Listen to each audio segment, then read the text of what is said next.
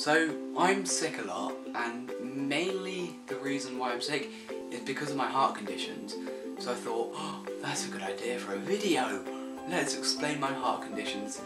I've kind of been taken out of school, it's quite bad. First one I'm going to go into is hypoplastic left heart syndrome, which is the main thing. Um, sometime in 1999, I'm guessing like November-ish, uh, when my mum went for a CT to get one echo, and when she was having me, it's all fine and dandy, and then the doctor walked out of the room. Bit unusual.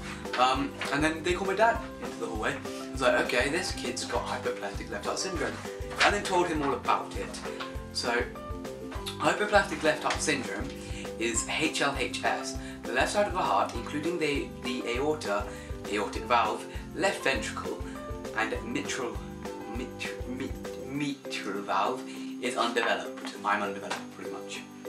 What causes it? Uh, in most children, the cause isn't known. Some children can have other heart defects going uh, along with HLHS. I do, and I'll go into that in a minute. Uh, how does it affect the heart? In HLHS, HL, I'm just going to call it H. H. H.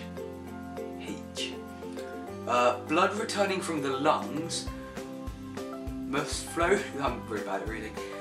Must. Where am I? Must flow through an opening in the wall between the atria, the atrial septal defect. I, I'm no doctor, but yeah. The right ventricle pumps blood into the pulmonary artery, blood which reaches.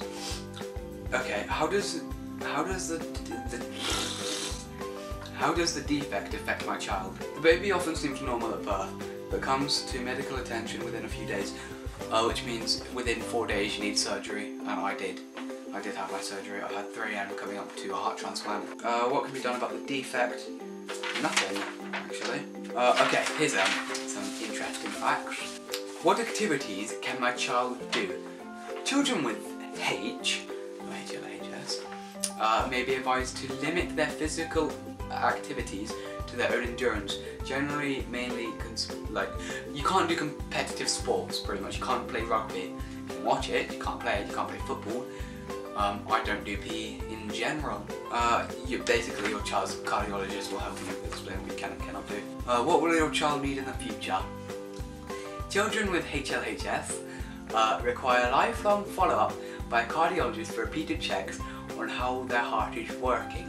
Virtually all children with HLHS uh, will require heart medicines, heart catheterization, and additional surgery. Okay, I'm not going to read that. Goodbye! And the second one, which I need to get through really quick because my battery's dying, is Loeys-Dietz syndrome. This is a genetic condition uh, that makes your aorta swell up. It was discovered in 2005, so I was born with it. Blah blah blah.